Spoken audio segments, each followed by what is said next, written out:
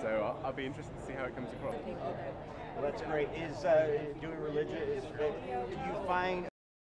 I mean, we're just thrilled. We're thrilled at the response. I mean, I, who know, as an actor, that's not really where you put your focus. You're concentrating on on trying to bring these figures to life and hoping that people believe them. Um, but you know, we're over the moon that so many people have tuned in. I think you know this is a story which has shaped the whole of Western thought for 2,000 years. You know, and you know everything. You know, so many of our of our stories in cinema even come from parables or from things in the Bible.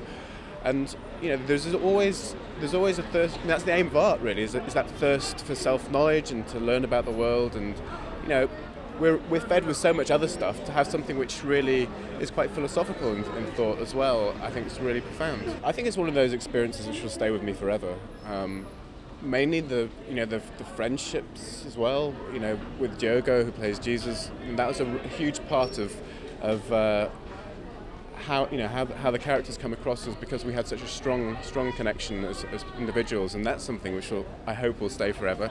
But you know I think whenever you do anything which is deep and involves you to immerse yourself and really re- re- reevaluate, you know, the way you think about the world, you know, it does change you. You can't help it.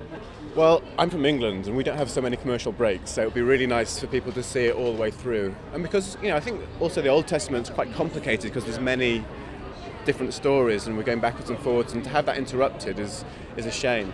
So I think the DVD will be amazing because you'll really get immersed in the story.